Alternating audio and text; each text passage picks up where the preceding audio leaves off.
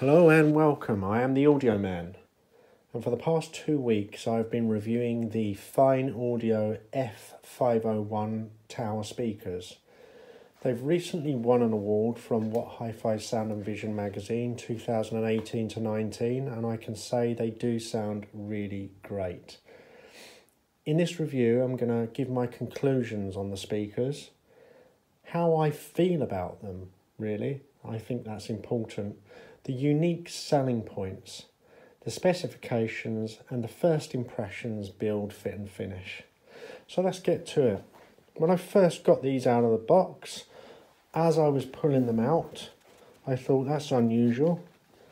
And there was this curve at the front and back of the speakers. It's just a little thing, but I think it's a nice design, sets them out as a little bit different. Also, the packaging the bottom of these speakers was surrounded in polystyrene, which was all broken up. And for speakers of this price, size, and weight, I think that's a bit unacceptable. It's not a deal breaker, but I thought it should be mentioned. So let's just examine these speakers briefly. They are the black oak finish, as you can see, and that is a real wood veneer, so nothing cheap here. And looking at them from the front, you can see that they have an aluminium chassis surrounding each speaker. If I can get in a bit closer, I don't know if you can see that. They have hex bolts all the way around and that aluminium finish as well is brushed, which I think is a really nice finish. The tweeter is mounted in the centre of the mid bass speaker and below the mid bass speaker is the bass driver. Both six inch drivers and really nice. You know, when I was picking them up, they felt like they were made well. There's no problems with the veneer flaking or not being put on properly or any issues at all with the quality that I can find. So looking at them, you'll notice that they have these plinths down the bottom and they are for mounting spikes into, which do come with the speakers. And when I was reviewing these, I did notice a difference when I had the spikes in. It did tighten up the bass considerably. Also, if you look at the bottom of the speaker, you'll notice all of these ridges round the bottom. I'll just get a torch and see if I can sort that out. Yes. So round the bottom here, see all of these points down the bottom? That allows the air to come out from the base port, which is down firing and going into a curved cone, which allows the air and sound to distribute evenly throughout the room and also allows these speakers to be positioned not be too fussy about where they're positioned. The other good thing about these speakers is the where these spikes are mounted, you can adjust the height from the top. So all of that fiddly time consuming uh, fuss that you go through of trying to get them level, if you've got that top adjustment there, which you have on these, it really does save a lot of time. So round the back, you have binding posts, and these are really good high quality binding posts for the high frequency and low frequency. Of course, they can be bi-wired or bi-amped, and that's really something I would expect of speakers of this price to be that sort of quality. So what are the unique selling points? No, let's go. Let's first go through the specs actually. These are 90 decibels, so they're very efficient. You don't need to put a lot of wattage into these to get a lot of sound out. And that's a really big plus with these. I like efficient speakers. I've had speakers or I have speakers already that are not very efficient. And it does mean you need to turn your amplifier up quite a lot but these don't suffer with that. 90 decibels is very efficient. These have a power rating of 75 watts RMS, so that's a very conservative figure.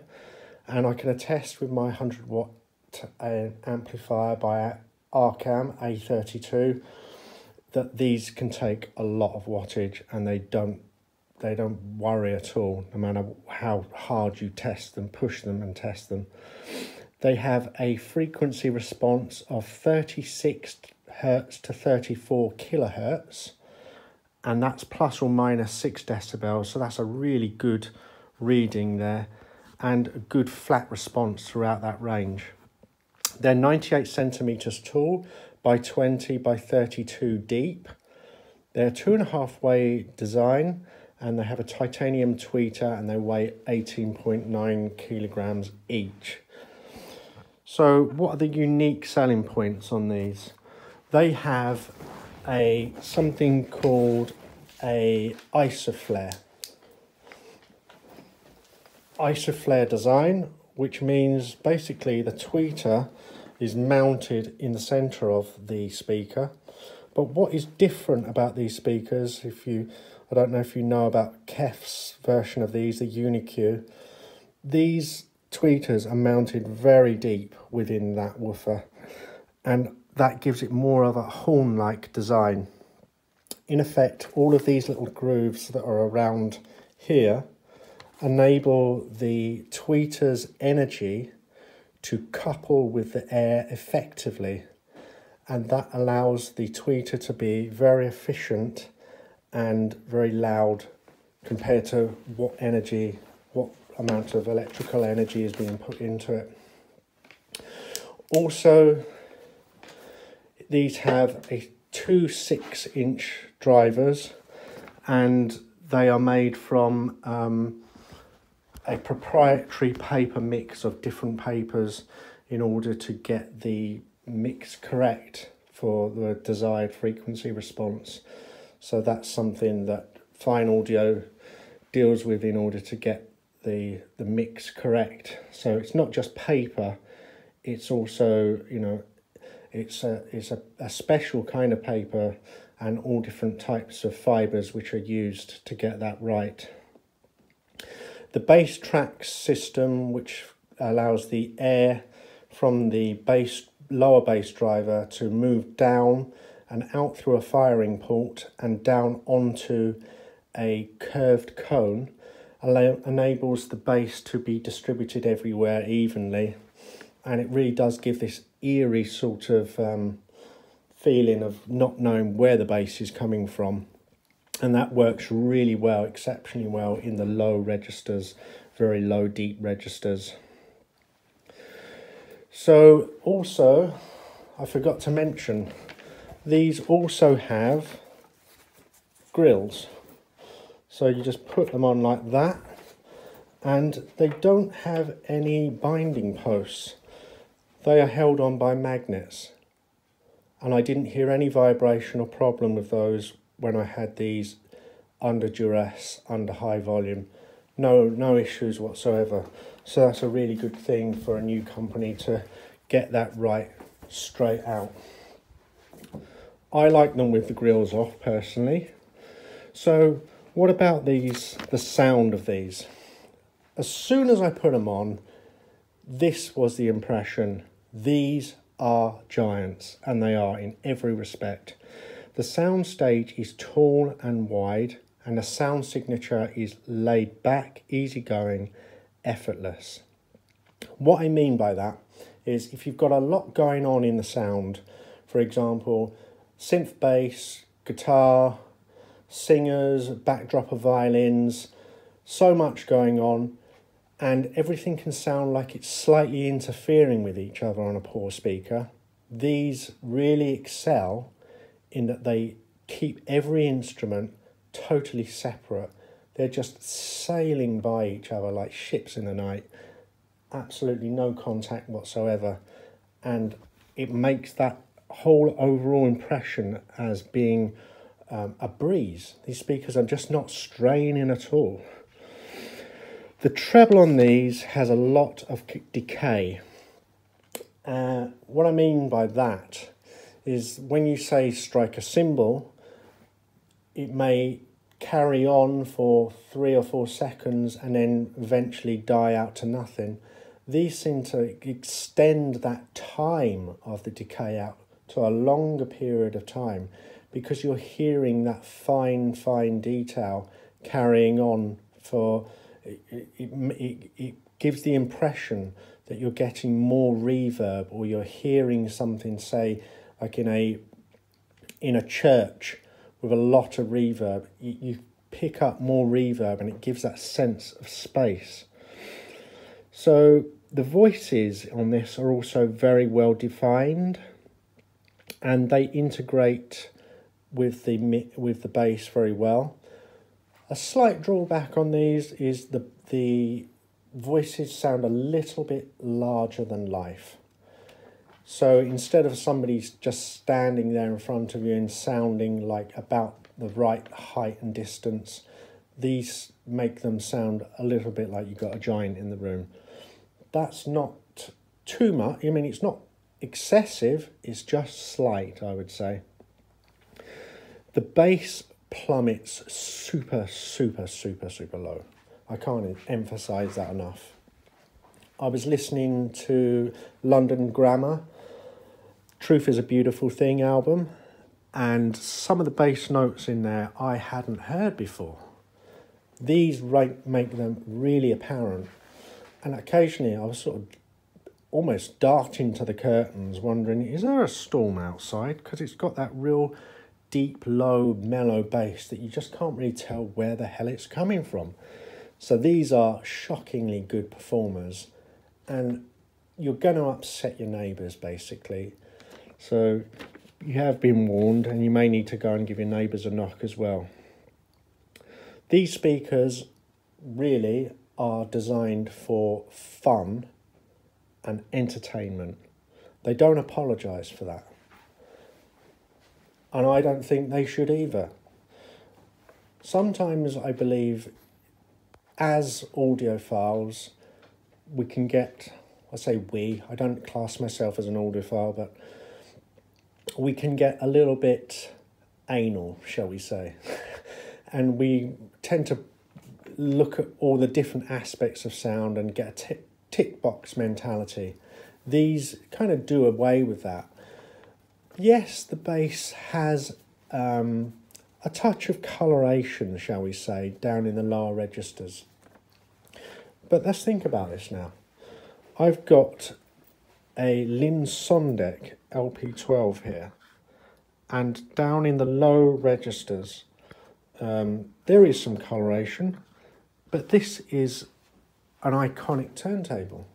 It's ultimately extremely musical after these had a week of breaking, basically I fell down on my knees and wanted to propose to these speakers because they let you know what the music's about, and that is emotion and getting to you. Um, it, it sort of drives your heart in a way, and you realize it's not all about analytical skills. This is about throwing away the cerebral aspect and enjoying the music with your heart. And that's what these do. Ultimately, you get to the marrow of the music. So, the pluses of these speakers, I would say, well, the negatives, let's say some negatives. I'm not happy that there are only two finishes on these speakers. I don't want a dark oak or a black oak. I would really like these in white or silver, but they don't have that. So that's really quite annoying, really. Um, the presentation could be too large for some. Um, as I said, the actual present the sound stage can be quite large. Also, they can the bass can overpower small rooms. So I would say, as a minimum, as a, as a minimum, uh, a small room, uh, a medium sized room is what you want. Um, preferably a large room, because they will just blast you out till tomorrow, and you you won't make friends with your neighbours. I've had these on low at night, and the bass still sounds too has too much presence, so they're not going to work for me in terms of um, relationships with my neighbours, and also with all that goodness and the treble, these could be prone to harshness. I've got these running with a um, an Arcam A32 amplifier, and that's quite a laid back sound, and the treble is not harsh on that, so I think that's a good partnering. So the positives, these are huge sounding in every respect, as I spoke about. They work well in home theatre as well as two channel setup. Also, they have a wide holographically deep stereo imaging. I forgot to mention that. As this deep bass plummets and you get all of this goodness with the long decay of the treble, you also get a huge amount of depth to the sound. For example, I could in some tracks I could hear people crying off what sounded miles in the distance, or the sound of a cascade of rocks coming down from a mountainside, or as I did mention, the thunderstorm, that mellow bass. But you can also hear within that small details, far off distance sounds. So they're really holographic like that. Overall, they're a slightly coloured speaker, slightly larger than life, but they're exciting. They are real fun speakers and they're entertaining. So if you like those type of qualities, as I do, just go and get them because at the price they are a steal.